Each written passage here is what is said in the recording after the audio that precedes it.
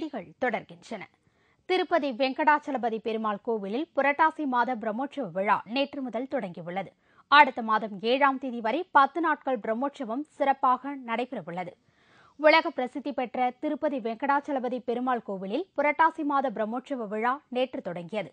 பத்து நாட்கள் நடைபெறும் திருவிழாவின் முதல் நாளான நேற்று யாக பூஜைகள் சேனாதிபதி நகர்வலம் வருதல் ஆகிய நிகழ்ச்சிகள் நடைபெற்றது. இரண்டாம் நாளான இன்று கொடியேற்றம் மற்றும் ஏழுமலைகானுக்கு பட்டு வஸ்திரங்கள் சாத்துதல் ஆகியவை நடைபெறுகிறது. இதனைத் தொடர்ந்து பத்தாம் நாளான அக்டோபர் ஏழாம் தேதி முக்கிய நிகழ்ச்சியாக பல்லக்கு உற்சவம் நடைபெறவுள்ளது. பாதுகாப்பு காரணம் கருதி திருமலை முழுவதும் அறுபத்தி நான்கு இடங்களில் கண்காணிப்பு கேமராக்கள் பொருத்தப்பட்டுள்ளன. இதேபோல் கும்பகோணம் உப்புளிகப்பன் வெங்கடாச்சலபதி கோவிலிலும் பத்து நாட்கள் பிரம்மோற்சவ விழா நேற்று கொடியேற்றத்துடன் தொடங்கியது. இதில் முக்கிய நிகழ்ச்சியாக வரும் சனிக்கிழமை அன்று கருட சேவை நடைபெறவுள்ளது. இக்கோயில் தமிழகத்தின் திருப்பதி என்றும் அழைக்கப்படுவது உண்டு. கன்னியாகுமரி மாவட்டத்தில் அரசு வேலை வாங்கி தருவதாக கூறி பல கோடி ரூபாய் மோசடி செய்த போலி ஐஏஎஸ் அதிகாரியை போலீசார் கைது செய்தனர். கன்னியாகுமரி மாவட்டத்தை சேர்ந்த விஜயகுமார் என்பவர் தாம் ஒரு ஐஏஎஸ் அதிகாரி என கூறி அரசு வேலை வாங்கி தருவதாக விளம்பரம் செய்துள்ளார். கன்னியாகுமரியில் மட்டும் இவருக்கு பத்து ஏஜென்ட்டுகள் செயல்பட்டு வந்ததாக தெரிகிறது. இவர்கள் மூலம் சுமார் இருநூற்று நாற்பது பேரிடம் அரசு வேலை வாங்கி தருவதாக கூறி ஐந்து லட்சம் ரூபாய் முதல் பத்து லட்சம் ரூபாய் வரை வாங்கியுள்ளார். இதன் மூலம் பல கோடி ரூபாய் மோசடி செய்யப்பட்டுள்ளது. ஆனால் சொன்னபடி அவர் அரசு வேலை வாங்கி தரவில்லை என்று பணம் கொடுத்தவர்கள் காவல் நிலையத்தில் புகார் கொடுத்தனர். இதையடுத்து விஜயகுமாரை போலீசார் விசாரித்ததில் அவர் போலி ஐஏஎஸ் அதிகாரி என தெரிய வந்தது அதன் பின்னர் போலீசார் அவரை கைது செய்து சென்னை புழல் சிறையில் அடைத்தனர். வேலை வாங்கி தருவதாக கூறி விஜயகுமார் ஐஏஎஸ் என்று கூறி போலி ஐஏஎஸ் அறிமுகப்படுத்தி வைத்து எங்களிடம் அஞ்சரை ஆறு லட்சம் ஏ- ஏழு லட்சம் வாங்கினவங்களுக்கு பத்து லட்சம். இப்படி மொத்தம் நாங்கள் வந்து இருநூற்றி நாற்பது பேர் நாங்கள் இருக்கோம் இப்போ. இருபத்தி மூன்றாம் தேதி உள்ள பேப்பரை பார்த்து நாங்கள் அறிந்து கொண்டோம். இப்போ விஜய் அவர்கள் கைது செய்யப்பட்டுள்ளார்.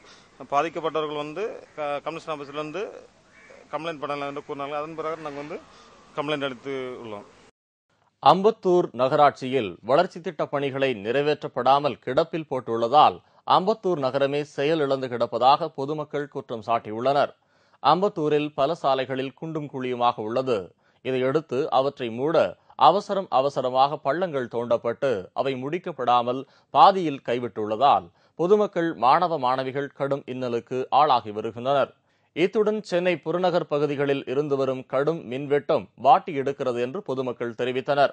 கன்னியாபுரத்தில் தினந்தோறும் டெய்லி கரண்ட் ஆஃப் ஆகுது. நாலுலேருந்து அஞ்சு வரைக்கும் கரண்ட் ஆஃப் வந்து யூஸ்வலாக ஆஃப் பண்ணுறாங்க ஆனால் திட்டமிட்டபடி ஸ்லம் ஏரியான்றதுனால எந்த ஒரு அதிகாரியும் ரெஸ்பான்சிபிள் கிடையாது. ஏஇ போட்டால் செல்லாக பண்ணிடுறாங்க எப்போசின்ற சொல்லுது எப்போஸ் எப்பவுமே ஃபோன் எடுத்து ரிசீவில் வச்சிருக்கிறாங்க. ஸ்லெம் ஏரியான்றதுனால தான் பண்ணுறாங்க மேலும் உரகடம் பகுதிக்கு அம்பத்தூர் வழியாக செல்லும் பேருந்துகள் எதுவும் வருவதில்லை என்றும் அம்பத்தூரிலிருந்து செல்லும் ஓரிரு பேருந்துகள் மட்டுமே அந்த வழியாக செல்வதால் பேருந்துகள் கிடைக்காமல் பொதுமக்கள் அலைக்கழிக்கப்படுகின்றனர். கடந்த பல வருடங்களாக இந்த பிரச்சனைகள் நீடித்து வருவதாகவும் இதை சரி செய்ய நகராட்சி நிர்வாகம் எந்த ஒரு நடவடிக்கைகளையும் எடுக்கவில்லை என்று பொதுமக்கள் குற்றம் சாட்டி வருகின்றனர். திருவள்ளூர் அருகே குடும்ப அட்டை வழங்காததால் சுமார் ஆயிரத்திற்கும் மேற்பட்ட பொதுமக்கள் வட்ட வழங்கல் அலுவலகத்தை முற்றுகையிட்டு ஆர்ப்பாட்டம் நடத்தினர். திருவள்ளூரில் கடந்த இரண்டு ஆண்டுகளாக குடும்ப அட்டை வேண்டி பொதுமக்கள் பலர் விண்ணப்பித்துள்ளனர். ஆனால் அதிகாரிகளின் மெத்தன போக்கால் பொதுமக்கள் அலைக்கழிக்கப்பட்டு வந்தனர். இதனிடையே உள்ளாட்சி தேர்தலை முன்னிட்டு குடும்ப அட்டை விநியோகம் தற்காலிகமாக நிறுத்தி வைக்கப்பட்டுள்ளது.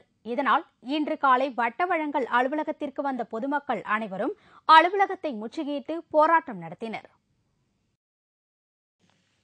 மத்திய பிரதேச தலைநகர் போபால் நகரில் நடைபெற்ற சர்வதேச புகைப்பட கண்காட்சியில் இடம்பெற்றுள்ள புகைப்படங்கள் பார்வையாளர்களை பரவசத்தில் ஆழ்த்தியது. போபால் நகரில் இந்தியா மட்டுமின்றி பல்வேறு நாடுகளைச் சேர்ந்த புகைப்பட கலைஞர்கள் எடுத்துள்ள புகைப்பட கண்காட்சி தொடங்கியுள்ளது. இதில் சர்வதேச அளவில் எடுக்கப்பட்ட மிக அரிய அற்புதமான புகைப்படங்கள் காட்சிக்கு வைத்துள்ளனர். இந்த மூன்று நாள் புகைப்பட கண்காட்சியில் பல்வேறு நாடுகளின் சுற்றுலா தலங்கள் மற்றும் முக்கிய நகரங்களில் எடுக்கப்பட்ட நான்காயிரம் புகைப்படங்கள் இடம்பெற்றுள்ளன. ஏராளமான பார்வையாளர்கள் ஆர்வத்துடன் வந்து கண்காட்சியில் வைக்கப்பட்டுள்ள அரிய புகைப்படங்களை பார்த்து வியந்தனர். நாகை அருகே பணியிட மாற்றம் செய்வதற்காக இரண்டாயிரம் ரூபாய் லஞ்சம் வாங்கிய மாவட்ட தொடக்க கல்வி அலுவலக கண்காணிப்பாளர் கைது செய்யப்பட்டுள்ளார். நாகை மாவட்டம் வைத்தீஸ்வரன் கோவில் அரசு தொடக்கப் பள்ளியில் ஆசிரியராக பணியாற்றி வருபவர் தங்கீஸ்வரன். இவர் அப்பகுதியில் உள்ள மங்கைமடம் அரசு தொடக்கப் பள்ளிக்கு பணியிட மாற்றம் செய்ய வேண்டி விண்ணப்பித்திருந்தார் இதேபோல் மங்கைமடம் பள்ளியில் ஆசிரியராக பணியாற்றி வந்த அருணா என்பவர் வைத்தீஸ்வரன் கோவில் அரசு தொடக்கப் பள்ளிக்கு பணியிட மாற்றம் வேண்டி விண்ணப்பித்திருந்தார். இந்நிலையில் இருவருக்கும் பணியிட மாற்றம் செய்வதற்காக நாகை மாவட்ட தொடக்கக் கல்வி அலுவலக கண்காணிப்பாளர் கண்ணன் இரண்டாயிரம் ரூபாய் லஞ்சமாக கேட்டுள்ளார். இதனால் தங்கேஸ்வரன் நாகை மாவட்ட லஞ்ச ஒழிப்புத்துறையின் உதவியை நாடியுள்ளார். பின்னர் லஞ்ச ஒழிப்பு போலீசாரின் அறிவுரையின்படி தங்கேஸ்வரன் இரண்டாயிரம் ரூபாய் பணத்தை கண்ணனிடம் கொடுக்கும்போது அங்கு மறைந்திருந்த போலீசார் கண்ணனை கையும் களவுமாக பிடித்து கைது செய்தனர். அண்மையில் வாரணாசி நகரில் பெய்த பலத்த மழையினால் நெசவு தொழிற்சாலைகளுக்குள் மழைநீர் புகுந்ததால் கைத்தறி நெசவாளர்கள் பெரும் அவதிப்பட்டு வருகிறார்கள். வாரணாசி நகரம் கையால் நெய்யப்படும் பனராஸ் சேலைகளுக்கு புகழ் பெற்றது இங்கு தயாரிக்கும் சேலைகள் அமெரிக்காவிலும் ஐரோப்பிய நாடுகளிலும் பெருமளவில் விற்பனையாகி வருகின்றன. அண்மையில் வாரணாசி நகரில் தொடர்ந்து பல நாட்களாக பெய்து வந்த மழையினால் கைத்தறி நெசவாளர்களின் வீடுகளுக்கும் அவர்களுடைய நெசவு தறி தொழிற்சாலைகளுக்கும் மழைநீர் புகுந்ததால் பெருத்த சேதம் ஏற்பட்டு நெசவு தொழில் கைவிடப்படும் நிலை ஏற்பட்டது. வறுமையில் வாடும் நெசவாளர்கள் வேறு வழியின்றி ரிக்ஷா ஓட்டும் வேலைக்கும் தினசரி கூலி வேலைக்கும் சென்று வாழ்க்கை நடத்தும் அவல நிலைக்கும் தள்ளப்பட்டுள்ளார்கள்.